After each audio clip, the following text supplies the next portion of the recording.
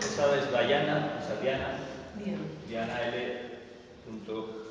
Christian, y tiene un libro que se llama eh, Creating a Life Together, creando una vida juntos. Es un, es un libro que se va a traducir al español, ahora lo están traduciendo. Hay una gente en, en Murcia, están creando una editorial así alternativa y el primer libro que han elegido para traducir es este. Entonces, igual que dentro de poco lo tenemos traducido porque yo hace tiempo que se lo recomiendo a la gente, pero siempre está en inglés y por fin es un libro para crear comunidades. Todo, todos los puntos a tener en cuenta. Si no se ha traducido antes, yo creo porque está muy orientado a Estados Unidos, todos los ejemplos son de Estados Unidos.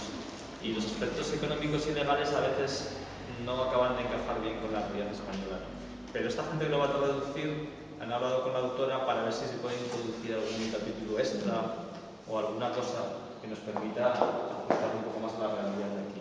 ¿Pero nos repites el apellido? Cristian. Cristo. Esta, es una, esta mujer vive en una ecualdea bastante reconocida allí en, en North Carolina, creo que está, se llama Heaven. Es un sitio que hay muchos años. Pero bueno, nos podemos preguntar qué hace que un proyecto tenga éxito y 0,9 no lo tiene. Qué ánimos. O, o 9 no lo tiene, mejor dicho. No, hombre, si se hacen las cosas bien, la gracia es tener éxito, ¿no? Y, y, y creo que estamos ahora dando, descubriendo herramientas, encontrando herramientas que nos pueden, que nos van a permitir tener más éxito. Y ahí está la dimensión social, justamente. La dimensión social es un montón de herramientas para que nos organicemos mejor, para que realmente podamos pulir esas cosas que nos resultan difíciles a nivel relacional y, y crear grupos y comunidades de éxito. Claro, luego hay cuestiones idiosincráticas, ¿no? Idiosincráticas, idiosincráticas en este país en particular, porque cuando me preguntan, ¿pero qué hay comunidades alemanas hay en Europa? Y digo, va, pues todas aquellas en las que viven alemanes. Entonces, entonces, primera recomendación así en plan del tema, Ficha tres o cuatro alemanes para tu proyecto comunitario. Déjalos que dirijan la parte más organizativa y tú simplemente sé creativo a ver y ya está. Y... Sí. Uy, aquí es ¿En la isla? Sí. En la isla. No, pero. ¿Y está Daniel? Si eso fuera verdad, esta isla funcionaría mucho mejor. ¿Daniel Ward? ¿Está Daniel O sea, Ward? en realidad. ¿Está Daniel? Daniel, Bueno, sí, pero bueno. ¿Y Pedro? ¿Y Pedro? ¿Sabes lo que pasa? Que en el momento que llegan a la isla pierden la... Exacto. Es que aquello de que lo malo se aprende muy rápido, lo bueno pues lo montón. La constelación son los alemanes aquí. Aquí vienen los alemanes poco alemanes. Exacto. Se españoliza. Silvia es alemana, ¿eh? tenemos representantes. Ah, que también, también. Sí, estoy cruzando con Andalucía y eso. Mujer tiene la, la misma mezcla y. Sí, pese a la. Pe- Sí, sí. Bueno, es, es un plan un poco grande, ¿no? porque ya podéis imaginaros que efectivamente hay otras comunidades, pero sí que es cierto que las más grandes, las que realmente han conseguido hacerse grandes, eh, tienen un alto porcentaje de alemanes eh, que seguramente de un espíritu que de antes del siglo XIX, con el romanticismo alemán, el apego a la tierra, eh, la, vida, la vida comunitaria realmente, que luego el, el señor Hitler intentó manipular y transformar de otra manera, pero ese espíritu de vida comunitaria viene muy fuerte, cosa que seguramente en estos países más del sur, pues es diferente, es otro tipo de estilo, de otra forma de funcionar. ¿no? Entonces ahí pues hay alguna cosa de tipo eso más cultural que tenemos que intentar resolver, aunque tenemos experiencias, porque al fin y al cabo en la, Segunda República la gente se organizó también muy bien para crear esas grandes colectividades que funcionan perfectamente. Entonces, eh, decir, que es posible. Tenemos que conseguirlo, tenemos que conseguir crear una buena igualdad. Porque lo que hay en España ahora mismo son sitios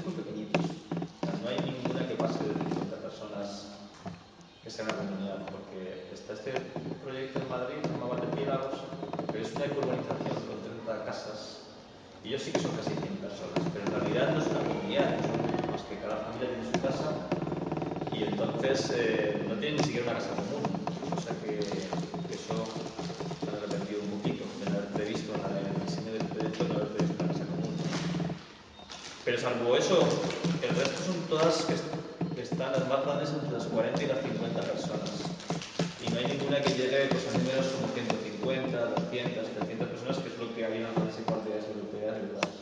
que están por ahí, entre 150 y 450, 500, que son ya números que te permiten hacer un trabajo ya más de investigación de modelos de vida, de, de ser mucho más creativo. Cuando estás en números muy pequeñitos, pues a veces vas más en la supervivencia normalmente. Eh, bueno, no sé, no sé. Yo sí, yo lo que queráis, podéis ir preguntando en cualquier momento, porque en este mundillo que a mí me ponen la cuerda aquí detrás. y como tengo ahí un montón de cosas ahí metidas de tanta experiencia, me puedo pegar aquí toda la tarde hablando y tampoco creo que sea en plan que ellos aburran hablando, igual mejor que haciendo preguntas. Yo quería preguntarte un poco, concretando ya en lo que es nuestra situación, al vamos, eso de esta reunión. Eh, nosotros ahora somos un grupo de 40, 50, no estamos bien definido, en donde ya ha habido algunas manifestaciones de estas dificultades de relación social y que de momento vamos haciendo una reunión aquí. Y hemos encontrado algunos sitios de la isla donde había posibilidad, discutimos sobre estos lugares, nos reunimos. Eh, mi pregunta es, en esa situación, y teniendo en cuenta la idiosincrasia de Mallorca, donde va a ser imposible que todos estén en el mismo sitio, y además no todos están de acuerdo, aunque la isla es pequeña, en qué sitio que unos les gustaría estar ahí y otros les gustaría estar ahí. Entonces, hasta se permite el grupo elegir, lo cual es algo muy, especial, ¿no? porque una cosa es ir a, un sitio, hay un pueblo abandonado y no hay más discusión, está ese pueblo y punto, y ahí todos.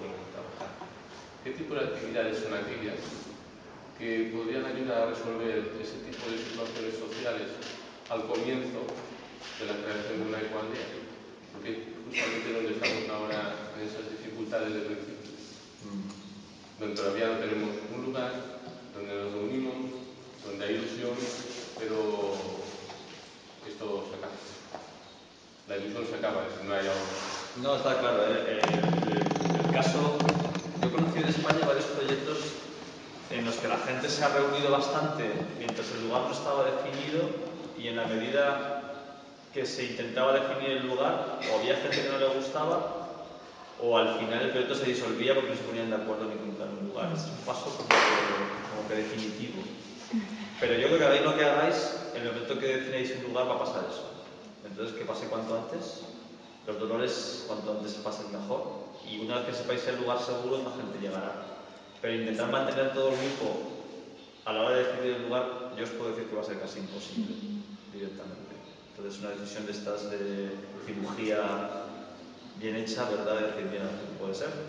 ¿Cuánta gente se Sí, quiere aceptado en cierta forma que habrá diferentes focos Claro. y esa es la, la posibilidad de ser la isla O sea, también. eso en cuanto al lugar, luego en cuanto a cómo qué hacer para crear un grupo es otra cosa, pero en cuanto al lugar, al menos de mi experiencia, de ver lo que yo he visto en estos últimos años en España, es mejor decidir no muy tarde el tema del lugar y ver cómo se puede conseguir y, a ver, empezar a trabajar con un lugar. Porque si se prolonga mucho el tiempo este, pues muchas necesidades explotativas de algunas personas no se van a ver satisfechas. Y entonces también va a ocurrir que la gente se va a marchar. Una cosa, en el caso de Mallorca, donde es prácticamente imposible encontrar un sitio grande disponible donde puedas construir, bueno, construir o aprender, entonces, ¿te parece realista el ya desde una de entrada pensar que pudiera resultar una red de, por ejemplo, tres mm, ecualdeas ¿me entiendes? diferentes en la isla, pero que luego una vez al mes de la reunión pues para por rotando entre, no sé, eso Bueno, de realista no, me parece que hay un ejemplo que, que es muy bueno al respecto, que os puede servir, pero no es ecualdea, es una ecualdea. Eh, Damanhur, esta que está en el norte de Italia, ellos inicialmente, es muy vieja ya, son 600 personas, pero que llevan más de 40 años. ¿no? Ellos inicialmente compraron un lugar, no muy grande, donde, est- donde estuvimos allí en el centro el templo al aire libre, no, no sé, tendría más de 3 o 4 hectáreas, o mucho, ese sitio, o menos incluso. Ese fue su, lugar inicial, ¿no? Nunca consiguieron comprar más tierras alrededor. Lo que hicieron ha sido comprar hasta un radio de casi 50 kilómetros. Fíjate. eh, casas, solo casas y en algunos sitios tierras. Entonces tienen sitios con casas, sitios con tierra, pero todo en un valle que se llama Valdisero o algo así. Valdisero.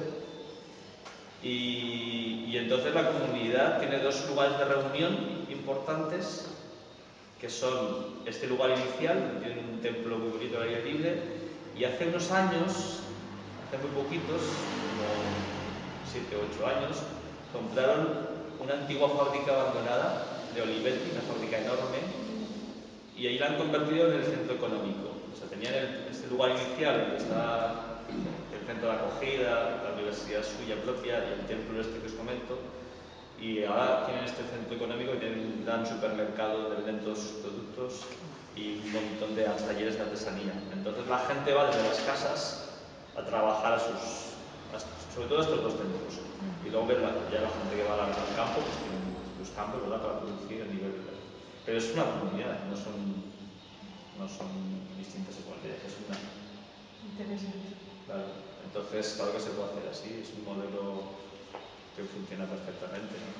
Y, y- Un momento, que no, yo insisto en que todavía no, eh, no, respon- no recibo una respuesta a esa pregunta. ¿Cuáles son las actividades de grupo que podrían unir ese grupo en las dificultades esas iniciales que tenemos?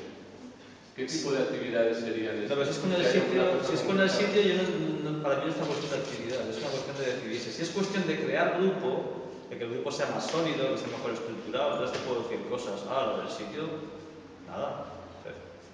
Es cuestión de, de decidir. Vamos a empezar por este sitio. No, no por el sitio, Claro. sino qué actividades de grupo, entre los miembros del grupo, son aquellas que pueden dar la cohesión para que vaya surgiendo un poco más adelante esa igualdad.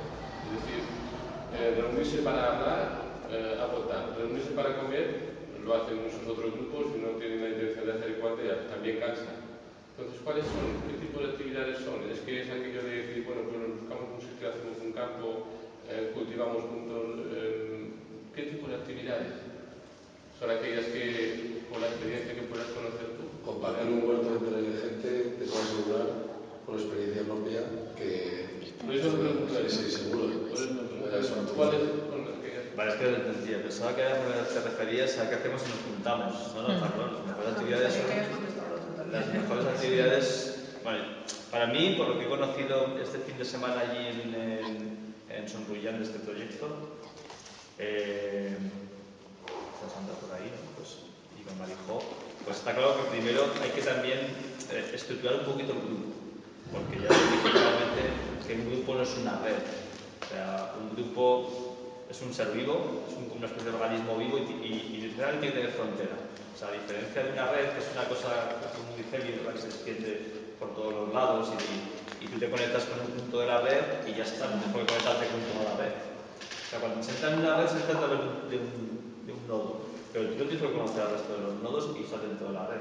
Pero en un grupo sí que tienes que conocer qué es el grupo, ¿no? qué es el interior del grupo y, y qué es el exterior, quién está dentro y quién está fuera, cómo está organizado el grupo por dentro y, y qué queda fuera. Y entonces eh, es bueno que eso se haga a través de algo que crea esa frontera. Esa frontera se crea básicamente de dos maneras. Una, con, un- con una visión común, es decir, estableciendo cuál es el propósito del grupo para que la gente tenga claro a qué está viniendo y luego con un procedimiento, un protocolo de entrada, es decir, ya no puede entrar. Una vez que, queréis, que consideréis que el grupo ya está definido en cuanto a su visión, la gente que quiera entrar tendrá que seguir unos pasos, ya no puede entrar libremente. Eso en cuanto a estructuración del grupo. Luego hay que crear además algunos órganos decisorios, porque ya les dije también a ellas que yo personalmente nunca haría que un grupo decidiera de todo. Eso es que nunca haría que un grupo decidiera todo, que es mucho mejor trabajar en, en- sobre todo lo que se refiere a actividades más cotidianas, hacer trabajo con pequeños grupos, generar como secciones y, y solamente reunirse a, a la toma de decisiones para cosas muy grandes confiando en el resto. Pero vamos, aún así, si efectivamente no hay un, no hay un hacer, todo esto puede no servir para nada, absolutamente para nada. Entonces es bueno que, que esto vaya acompañado ya de un hacer. Y ese hacer, eh, en la medida que es un proyecto de, de, convivencia, pasa por encontrar un sitio en el que ya se puedan empezar a hacer las cosas. Porque si el, el periodo entre el grupo que habéis formado y el hacer algo es muy, muy largo, muy largo, es, es, posible que mucha gente se quede por el camino o que no se llegue a ningún sitio. ¿no? Entonces, yo sí que recomendaría que, que exista ya la, que pronto, en la medida que podáis, cuando lo veáis posible, pues ya tengáis un lugar en el que empezar a hacer. Y como os he comentado antes, no hace falta que sea un lugar muy grande, puede ser un lugar en el que hacer el primer centro, el primer centro en el que poder empezar a trabajar, hacer actividades, hacer cosas, y luego poco a poco pues, a ver cómo se puede ir conectando con ese centro. Pero si no hay un hacer, esas son las mejores actividades, las, de, las del hacer. ¿Eh? Sí, si no hay algo que se produce, la cosa finalmente se agota. Se suele agotar, efectivamente. Eso es. Entonces, para mí son dos cosas a tener en cuenta, ¿no? Una, crear grupo, y eso significa hacer que este organismo vivo que está surgiendo aquí en estos momentos, pues realmente sea nutrido, se nutra eh, con lo que vosotros dais, pero además también vaya conociendo qué es su entorno, ¿no? O sea, qué, qué, qué sois como grupo y qué queda fuera de vosotros. Y, para eso, repito, definir bien la visión, establecer un procedimiento de entrada y, y, al menos una estructura organizativa básica es importante. Todo eso es importante.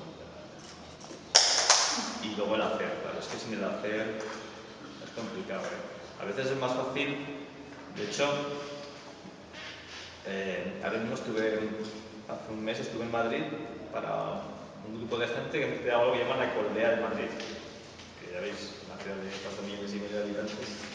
Pero era un grupo majo, de 80 también personas, 30, 40 personas, que ellos también querían ver cómo podían crear algo de tipo comunitario en Madrid sin necesidad de vivir juntos.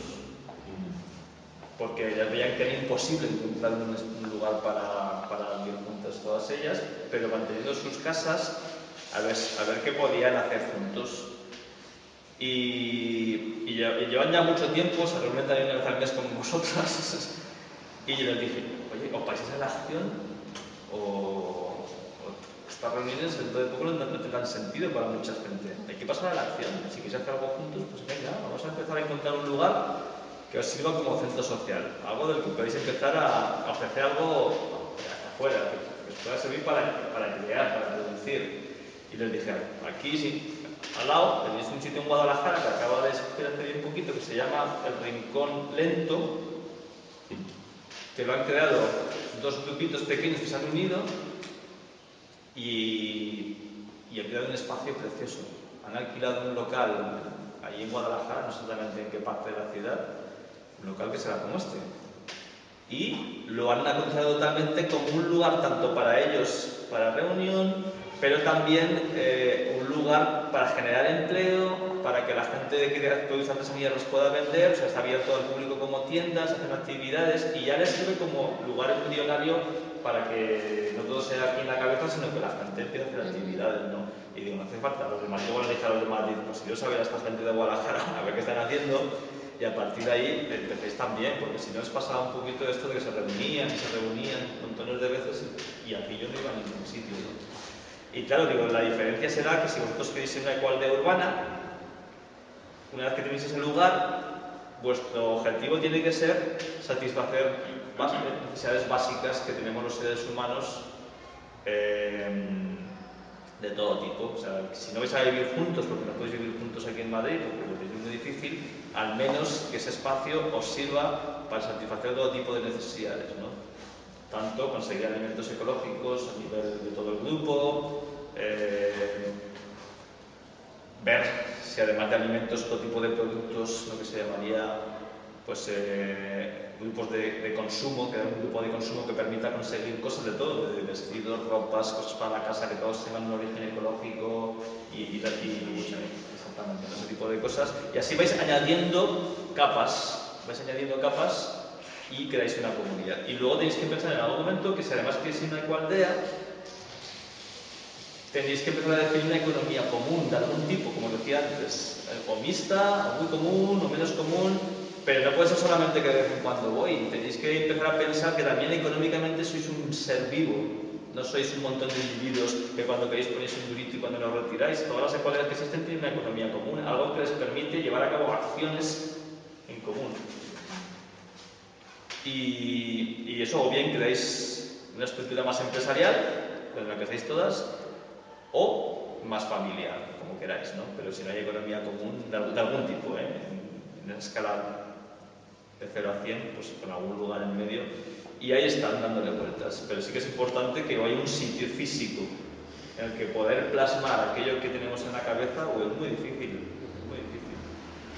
No, eso, eso yo creo que lo tenemos, es cuestión de, por lo tanto, más que nada es recoger esa inquietud porque tengo esa impresión también, ¿no? Ujú. Entonces, hace falta que la gente se dé cuenta para poner un poco el grano de arena y, y coger. Claro que piensa... que nos hemos ido a buscar un, eh, una- un sitio para hacer una aldea que es lo más caro de Europa, donde los alemanes vienen aquí para comprar sus residencias de verano y tal. Entonces, claro, yo creo que hay una parte, evidentemente, no puede tirar el vacío, hay momentos en que hay que aceptar, pero que parte de lo que está pasando es la dificultad de encontrar un sitio asumible por un tipo de gente, que tampoco somos millonarios, y que, pueda dar en una zona, en un territorio con muchas restricciones de construcción, como decía tú antes, con muchas restricciones de, todo tipo a nivel urbanístico y de alguna forma pues estamos empezando ya a darnos cuenta que quizá esa especie de ecorregión, por llamarlo así, me gustó el término que usaste en la entrevista de Levante, ¿no? ecorregión, no bioregión, es más, es casi más factible que, que una ecualdea como tal, de decir aquí nos vamos a sentar 40 kilómetros de zona. Lo que pasa es que, no sé si estará de acuerdo, quizás algunas de esas actividades se pueden hacer en algún lugar que esté disponible, que algunos miembros lo tengan, pero que no necesariamente vaya a ser el lugar donde físicamente se vaya a surgir la ecualdea, es decir, donde se vaya a juntar familias. Pero sí que sea un lugar para como hacer agricultura, o hacer educación, o hacer actividades X, pero que tengan que ver con el grupo, por supuesto, y orientadas al grupo. No necesariamente eso tenga que ser el lugar donde va a crecer la ecualdea. Porque ahora pienso que la, importante, como estás comentando, es crear esa unidad del grupo para que luego, donde haya que poner el, el grano, pues ahí vamos, y vamos ya grupo, ¿no? Y ya se han superado una serie de, de dificultades de relación social y humana que, que como dices son claves. De todas maneras, empezar con un sitio es importante. ¿eh?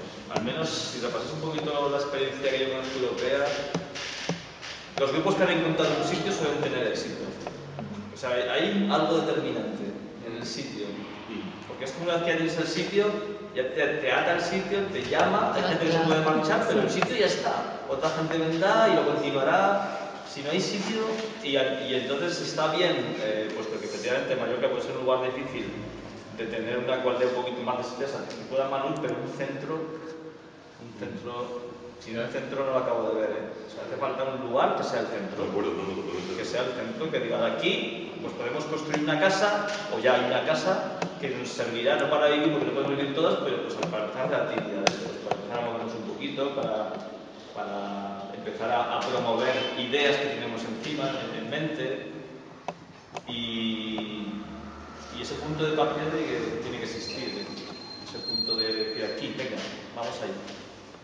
De todas formas, a pesar de lo que decía, que estoy totalmente de acuerdo de la problemática de Mallorca en particular, sobre todo por, por un tema urbanístico, que es complejo, imagino que una aldea que es en el fondo transgredir un poco un sistema de vida normal, también nos obliga a intentar cambiar algunas normativas de esas, que son las que impiden la formación de, estos, de estas ecoaldeas, eh, exigiéndole a la, administración que abran los ojos ¿me entiendes? Y que sin que claramente haya un afán especulativo, pero sí decir, oye, señores, vamos a ver, hoy por hoy no puedes montar 20 casas en una finca agrícola, no lo puedes atomizar por normativa, ¿vale?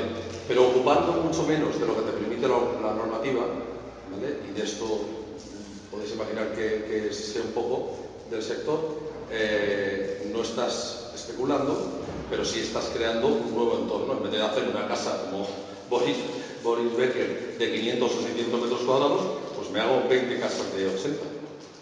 ¿Me entiendes? Eso no es ningún disparate. Sobre todo si luego encima tienes un entorno ecosostenible en el cual no generas tal igual. O sea, se puede plantear. Habrá que cambiar en algún momento. Si no, indudablemente es inviable. Claro, lo que pasa es que quizás muchos que estamos en esto compartimos el consenso que hay en la isla de restringir la ocupación del territorio, ¿no? Es decir, al margen de que puedan hacer construcciones más sostenibles, más ecológicas y tal, el mero hecho de ocupar territorio ya es un grave problema para un territorio como este. Lo que pasa, lo que pasa es que si no lo hay, hay muchas formas de ocupar. Si ocupas con una casa eh, hechas con criterios totalmente no sostenibles, con paja, con adobe, con tal, es una forma de ocupar el territorio que no es la del hormigón. De otras cosas porque en cualquier momento lo puedes revertir. ¿Entiendes? Y al final, si una finca tiene una, una capacidad de ocupación y de edificación, tarde o temprano llegará un alemán, o un sueco, o un de donde sea, y lo podrá hacer. Estamos hablando de no aumentar esa edificación o esa ocupación, sino de buscarle, buscarle a lo mejor un, Desgraciadamente, si hay algo que puedas aprovechar, que ya está hecho, indudablemente es mucho más cabal. Lo que pasa es que todos aquí, si somos de la isla y conocemos un poco, sabemos perfectamente que hay poca cosa y lo poco que hay. Un trozo de Vamos a, vamos a- sí, para que esta discusión no Sí, sí, vamos vamos a- No, yo solo quería re- rescatar algo que dijo ayer Guillermo.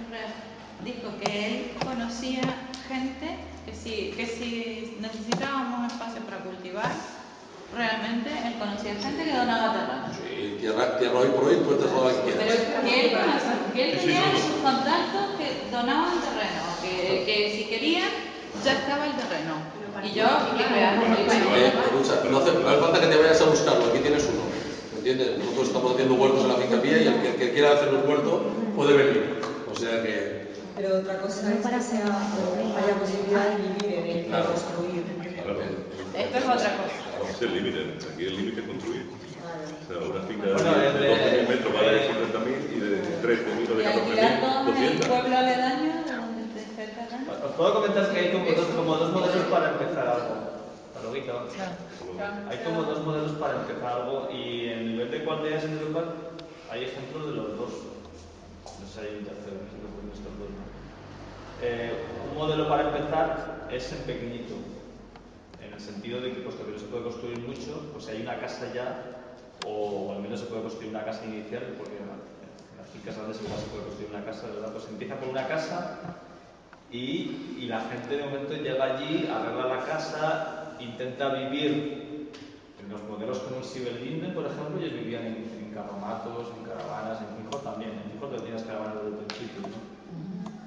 Y luego, poco a poco, a medida que eso va resultando que la casa en cuestión eh, empieza a funcionar y se hacen proyectos muy interesantes y es un modelo que, puede, que al final resulta muy atractivo para las autoridades, pues ya se empieza a ampliar un poco, ¿no? Y eso es un modelo lento, pero que en el fondo funciona muy bien, porque claro, cuando un grupo eh, decide irse a un sitio, tiene que decidir en qué quiere invertir todos sus esfuerzos económicos, ¿no? Y si la inversión en construir casas es muy grande, luego no te quedan a lo mejor tantas fuerzas para construir espacios comunitarios que pueden ser más productivos a nivel económico. Es decir, a lo mejor es mejor empezar por un modelo un poquito más empresarial, es decir, que damos una empresa común a partir de una casa y ahí hacemos actividades, tenemos huertas y podemos invitar a la gente que vaya y, si es, y para vivir, pues mira, nos vamos a comprar esas casas que venden en, los, en las grandes almacenes de madera que valen 1.500 euros y tenemos 12 metros cuadrados. Tengo un amigo en Tenerife que está montando un centro muy bonito y, y como solo tiene 7.000 metros, pues está construyendo casitas de 12 metros cuadrados. Yo estuve en una de ellas, en particular la suya, era alucinantemente bien aprovechar esos 12 metros cuadrados, ¿no? Y a lo mejor para empezar puede ser una manera que te obliga a una inversión y puedes centrarte en crear la economía, que siempre digo a la gente, si tuviera que empezar una, una aldea, lo primero que empezaría sería por generar negocio. Porque si me gasto todo lo que tengo en construir la casa, luego cómo voy a poner en marcha un negocio si también hay que volver a invertir para crear un negocio, ¿no? Entonces ese modelo ha funcionado muy bien, ¿eh? tanto, tanto en Finjo, que empezó así, como en Sibelinde, que empezó así. Lo primero que hizo la gente fue crear el negocio a partir de un edificio que sí que estaba o se estaba construyendo, o reconstruyendo. Y una vez que el negocio está bien asentado y la gente está viviendo de manera como puede, pues en caravanas, en carromatos o en pequeñas casitas de estas, pues poco a poco vas ya construyendo casas. En Sibellinden llevan viviendo ahora mismo como 15 años y solamente muy recientemente la gente está abandonando los carromatos y se está moviendo a las casas que están construyendo. Unas casas maravillosas de varas de paja, todas ellas, pero súper bien construidas,